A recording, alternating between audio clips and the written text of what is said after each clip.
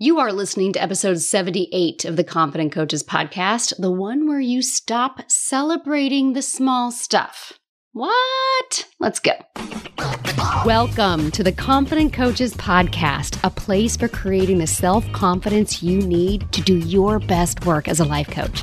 If you want to bring more boldness, more resilience, and more joy to your work, this is the place for you. I'm your host, Amy Latta. Let's dive in. My confident coaches. How's everybody doing out there? Welcome to May. That means my birthday month is over, but that's okay. The weather is warmer. It's beautiful outside. Who's ready for some gloriously warm weather here in the Northern Hemisphere?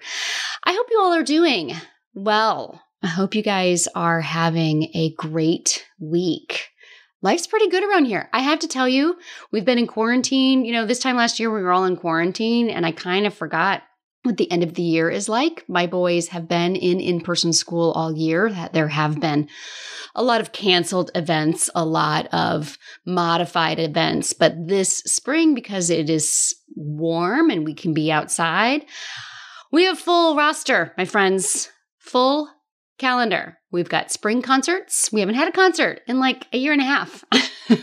I've got two boys in band. We've got spring concerts. We've got baseball. We've got soccer tournaments. We've got baseball tournaments. We've got end of the year celebrations. They're all different and modified than how they've ever been before, but holy cow. Not to mention April and May are the two busiest months for the Lattas in general because everybody except for one person has their birthday in these two months. And so I'm kind of like, oh, yeah, it's been like two years. So send some lot of love this away because, and to all of you parents out there who are experiencing maybe not the full end of the year experience that we're used to, but definitely something entirely different than we experienced last year. So I am happy to say, though, my boys have had a wonderful sixth grade and ninth grade, their first years in middle school and high school. Ended up being quite, quite wonderful. So thank you. Just a shout out to all of the teachers and all of the school administrators for being awesome.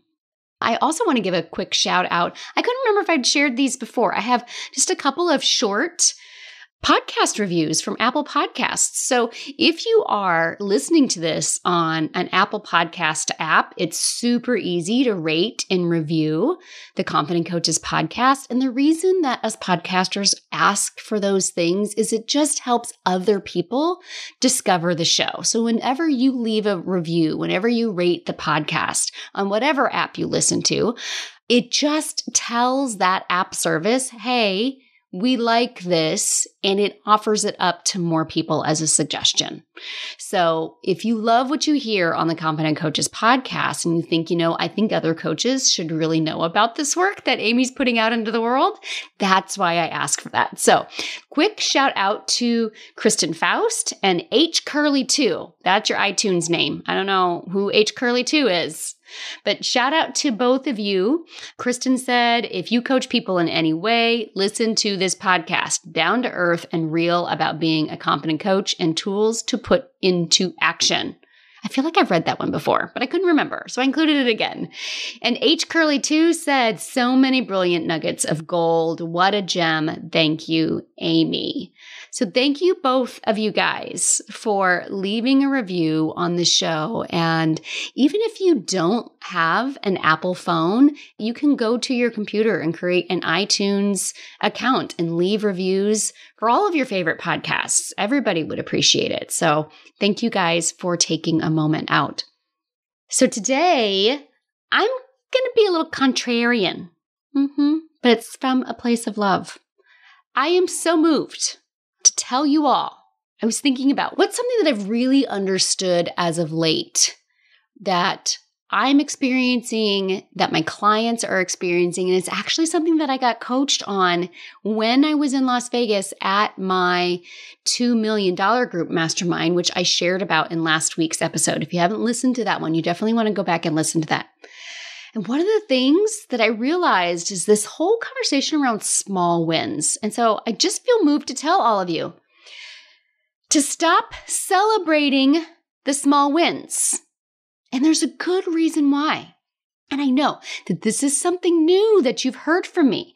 If you've listened to me before, these words, stop celebrating small wins, may come as a huge shock. Like, wait a minute, this is contrary to anything I've ever heard come out of Amy's mouth. Because I've said many times before, celebrate all the wins, big and small. And I have such a compelling reason why it's been so important.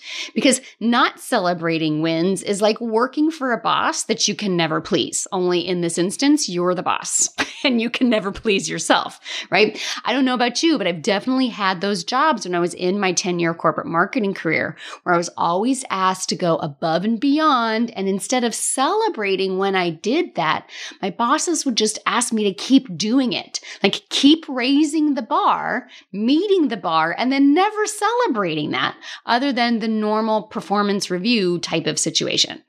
And eventually I was like, why am I working so damn hard?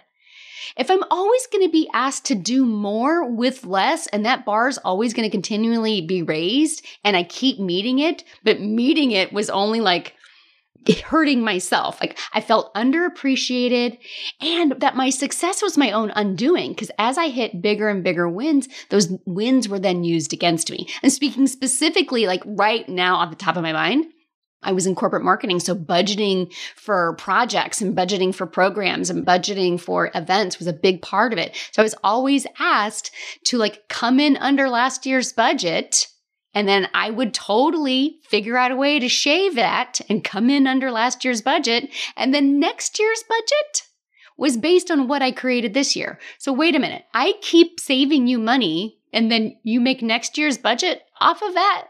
And then I got to beat it again. That's literally how I would talk in some of these meetings because I was just a 20 something, you know, newbie. And I was like, wait a minute, this really seems like you're not celebrating my awesomeness. And in fact, you're kind of using it against me.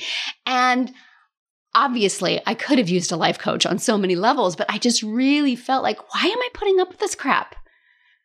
And that's what we are doing with our brains. So I've told you all of these years and my clients for all of these years how important it is to celebrate all the wins, big and small, because no one wants to work for that guy. And if you're constantly pushing yourself out of your comfort zone and then not celebrating yourself when you create something new, eventually your Helga brain is going to revolt. Eventually she's going to be like, listen, I'm out. I don't want to do this anymore. And coaches, I'm just here to tell you, I got it all wrong.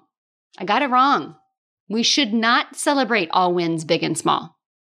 We should not celebrate the small wins. And here is why.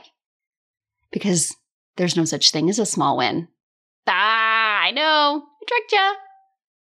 What I got wrong is the wins and the way we describe them as if there are big wins and there are small wins. Not a thing. All wins are big. Every single one of them we're no longer classifying wins as big or small because anything that you create in this world is huge. Anytime you've done something you've never done before, that's astronomical. And it doesn't matter. Like when we try to categorize them, when we try to put them in the box, we make some wins better than other wins. And that's bullshit. And if anything, it should be the other way around dare I say, this quote unquote small ones are the most important wins of all, way more than those big flashy wins that we always like to talk about. Because if you're a coach who's only done free coaching or peer coaching, and I know some of you are like, but I need to make thousands of dollars or it's not good enough. Bullshit. That first $500 you make as a paid coach, it's the hardest money you will ever make, and that is huge huge. And we're sitting here and we're undervaluing it, calling it a small win because it's not thousands of dollars. Bullshit. It's, it's a harder win. It's a more hard earned win. It's a more fought for win because it's the first time you've ever done that before. If you would normally shut down for weeks at a time after getting a no on a consult and you just don't do that anymore, now maybe you just need a couple hours or maybe even a day or two to regroup. That's huge. I used to go large stretch of time, like weeks and months of not really showing up very much. So when I stopped doing that and I got it down to like hours or days, that was ginormous for me. That was a huge win for me that I was able to keep showing up in my business week in, week out, whether or not anybody was scheduling a consult call with me, whether or not anybody was saying yes or no, whether or not the handful of clients I had were getting any results, not shutting down, not checking out to go watch seven, you guys have heard this story. I watched 10 seasons of Supernatural in seven weeks. Talk about checking out because things weren't going the way that I wanted them to. When I stopped doing that and I still kept showing up, even though I didn't have different results yet, huge win. Much harder earned win than now today where I just do it out of habit. And that's not that hard for me anymore. It used to be super hard. That was such a huge win to celebrate. If you post every single day and make an offer to help someone five days a week when you only used to do it a few days a month, come on, bust out the party streamers. That is so worth celebrating. Now, I've talked a lot about this in the past. I'm pretty sure I've done podcast episodes on this and definitely inside my Confident Coaches Mastermind, which is my six month long mastermind that I run. Sometimes our success looks different depending on what you create in that time. Like what makes a confident coach's mastermind successful client is not always ginormous, huge quote unquote big dollar wins because the big wins might look very different depending on the client that you are when you enter the program. I absolutely have clients who go from making $500 a month to five figures a month. I have clients who are already making 50 plus thousand dollars a year who surpass that six figure year during the mastermind. Yes, absolutely that happens. I also have clients who've stopped hiding and who finished the mastermind actually posting regularly and doing Facebook lives and making offers in a way that they never did before that they started. I have clients who define success in a way that is related to them, who create a business that is reflective of their values and has defined success as to what it means to them. And they're building a business in a way that's completely different than anyone else, but it's 100% in alignment with them. And it's exactly what they've always wanted to create and that they didn't think that they could. That's not small. That's huge. That's ginormous. That is worth celebrating.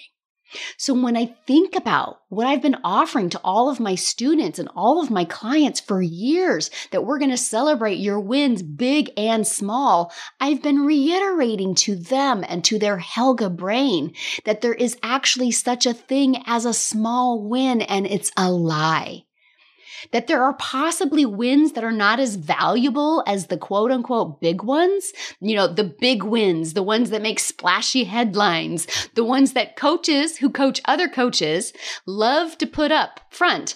They're the ones that have more razzmatazz. They make the splashier headline, right? And I want this podcast episode right here to be a shift in the coaching industry, where how you define success and what is a win in your book is not only just as valuable, but might be even more valuable for you than being a six figure coach in six months. Because if you are a coach who struggles with confidence, and that means if you're a coach that struggles to believe you can do what you've never done before because your Helga brain is looking for proof that you can create what you've never created before. If that is you, anything less than massive overnight success might feel small and you're undervaluing the hugeness the power behind, the necessity of celebrating showing up for yourself and your people, even when you don't feel like it, no matter what. For some of you, there is no bigger win right now than showing up without the results yet because you've never done it before. That is ginormous. It's absolutely worth celebrating, and we are going to celebrate all of it. When I say stop celebrating the small wins, I am showing your brain and mine and every client that's currently in Confident Coaches Mastermind and every future client of Confident Coaches Mastermind that there is no win that is small anymore. Your first $500 is the most important money you will ever make to your Helga brain. When you keep showing up after 10 no's in a row, you're showing your Helga brain what you are capable of and what you are made of. And that's not ever small. It's huge. It's exciting, right? When you stop checking out on Netflix and instead prioritize thinking about your business or thinking about your clients or honoring your work hours, when you're self coaching yourself and you're doing it anyway, even when it feels uncomfortable and you don't really want to. Listen, I will take 20 coaches doing all of that work for the very first time over 20 coaches who could hit six figures next week. Because I know here's the reason why. Those are the clients I want to work with. Because I know if you can learn how to show up for yourself, even when you don't have the results you want just yet, when you learn to do that and you celebrate that every single week and all the different ways that you do that and all the different things that you try, then that six figure success for you, it's inevitable. It's a given. We can't have that level of success if you aren't willing to celebrate exactly where you are right now and seeing the beauty and the honor of where you are right now and how you are showing up and how you do show up for yourself and for your clients, even if it's not what you quote unquote think it should be. When you drop the coulda, shoulda, wouldas, and it should look differently, and you really honor where you are and you celebrate all of that. That, my friends, that is what we're celebrating. This is why the Confident Coaches program is so important in the coaching industry because we're used to celebrating six figures and above, right? We're used to seeing those people get on the podcasts. We're used to seeing those stories. We're used, like, those are the banner headlines that all the people in the industry for years and years have led with. But celebrating the first time you do what you've never done before over and over again, that is the norm I want to see in this industry. Imagine the collective confidence boost. All of us, that rising tide lifting all ships when we all start celebrating. Guys, I didn't fricking quit. Right? So right now, I want you to take some time today. I want you to actually carve out a little bit of time today to write down all of your wins. You haven't made any money as a life coach yet? So what? What have you created? How many posts have you made that didn't exist before in the world? How many things have you created? How many concepts or new ideas have you thought of? How many people have you just even talked to? How many conversations, coaching related, have you spoken that you had not ever done before? If you've only made a few thousand dollars, let's celebrate every stinking dollar because it's not only a few thousand dollars. It's thousands of dollars that you have created that did not previously exist for you. And that's huge. That's not just worth noting, that's worth celebrating. Sure, there's always more that we can attain and that we can achieve, but that win in the future is no better and no bigger than your win today that you showed up and you turned on this podcast and you listened and you're going to learn a little something from it. I guarantee you, I know you think that win's going to feel better or give you more confidence, but I guarantee you those feelings are fleeting and they don't last because your Helga brain is always going to come with you and it's always going to be looking for the next bigger win and bigger win. So learning to celebrate all of the wins now is going to help you so much in the future. And I just want to say, I am sorry for previously stating that we celebrate wins big and small because I was reiterating the idea that there's even such a thing as a small win. Whereas now I know and I understand that every day you don't quit is the biggest win of all. This is what confidence is. Confidence is not going to come after you hit the money, after you hit the quote unquote big win, after you become a six figure coach. Confidence is not waiting for you on the other side of that.